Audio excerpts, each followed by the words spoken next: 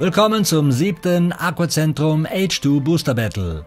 Heute habe ich ein besonderes Schmankerl für euch, die Hebe Hydrogen Rich Water Kanne gegen einen Gosoid Booster, dessen kompletter Name bei Amazon schon ein ganzes Video füllen würde.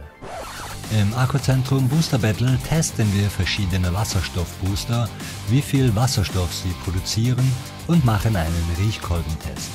In der ersten Runde sollen die Teilnehmer mindestens 1,6 ppm Wasserstoff produzieren, um in die nächste Runde zu kommen. Schauen wir kurz in die besten Tabelle. Unverändert führt hier der Hydrogen H2Go mit 2,5 Parts per Million Wasserstoff. Vor dem Aquavolta H2Go 2.8 mit 2,1 Parts per Million Wasserstoffgas gefolgt vom Aqualiving Paino mit 1,6 ppm gelöstem Wasserstoff. Der Gosoid Booster ist schon an der Osmosewasserfüllstation. Ich habe hier die Herstellerangaben zum Gerät für euch. Er soll schon nach 3 Minuten 1,1 ppm Wasserstoff mit seiner PEM-Zelle produziert haben. Let's see.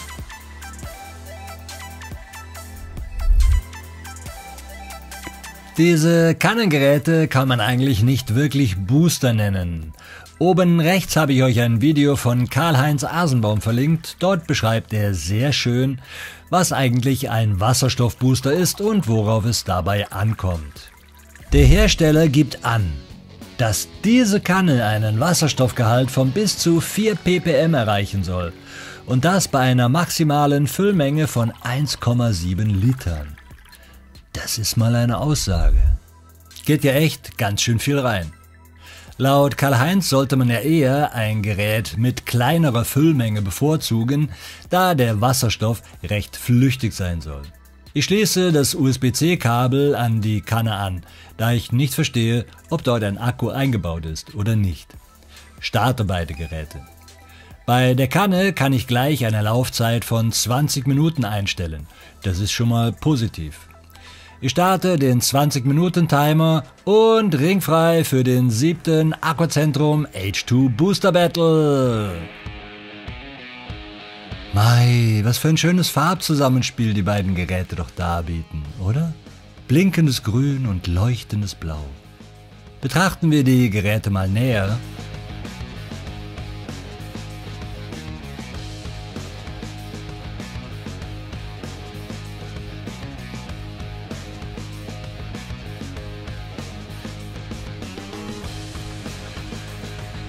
Den Gosoid muss ich alle drei Minuten neu starten.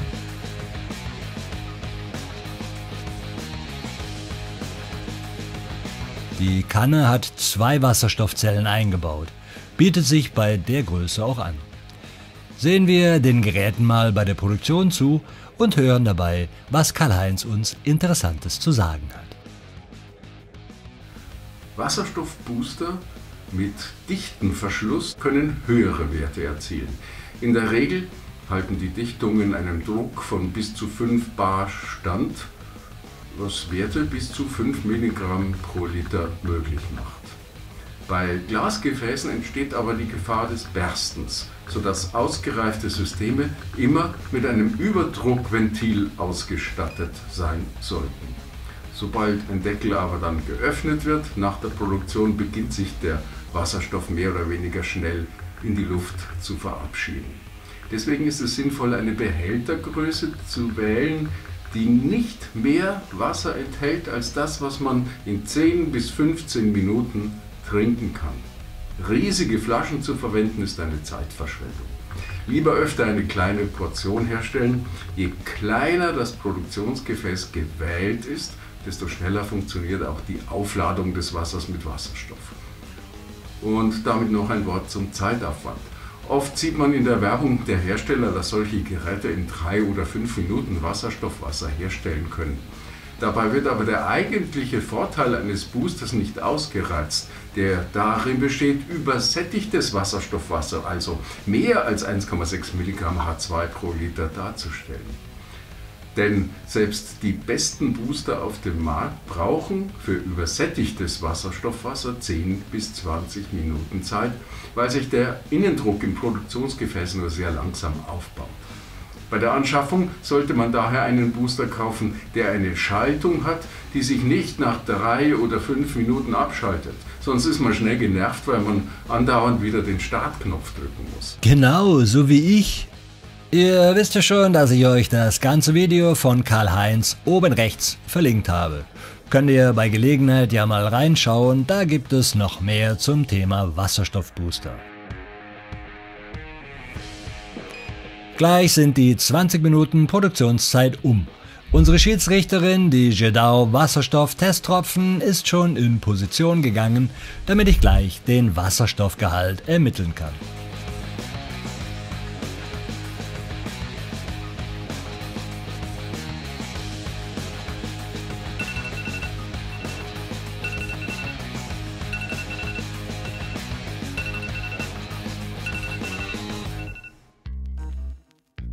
Jetzt kommt unsere Schiedsrichterin zum Einsatz. Oben rechts habe ich euch noch das Video mit den Spielregeln unseres Aquazentrum H2 Booster Battle verlinkt. Die Probengläschen haben eine gelbe 6 Milliliter Markierung. Bis dorthin befülle ich sie und träufle die Wasserstofftestflüssigkeit hinein. Jeder entfärbte Tropfen entspricht 0,1 Part per Million gelöstes Wasserstoffgas. Mein Zählroboter im Stimmbruch zählt diese. Später fasse ich die Ergebnisse nochmal für euch zusammen.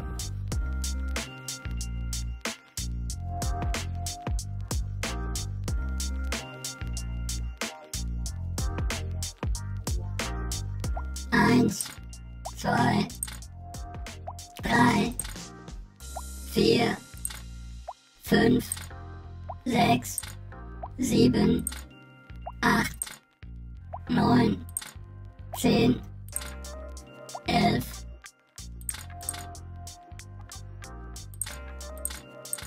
Tja, das war's für den Guss heute. Zehn entfärbte Tropfen. Mal sehen, ob die Kanne, wie versprochen, bis zu 4 ppm schafft.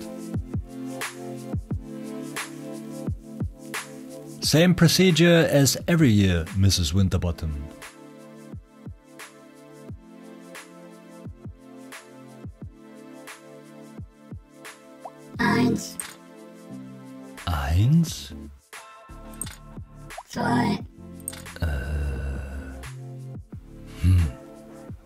Komisches Entfärbungsverhalten. Hm, naja. drei, vier, fünf, Fünf? Hm, mehr gibt's wohl nicht. Seltsam, das Versprechen von bis zu 4 ppm war wohl mehr ein Versprecher. Naja, ein Familienwasserstoffwassergenerator ist zwar nett, aber wir haben ja schon von Karl-Heinz gehört, dass weniger mehr ist. Kommen wir zum Eingemachten, dem Riechkolbentest. Gibt ja so einen Spruch, ich kann dich nicht riechen. Wenn die Chemie nicht stimmt, kann man das wohl wirklich nicht. Deshalb spiele ich ein bisschen mit der Chemie und gebe etwas Salz in die Geräte. Mal riechen, was passiert.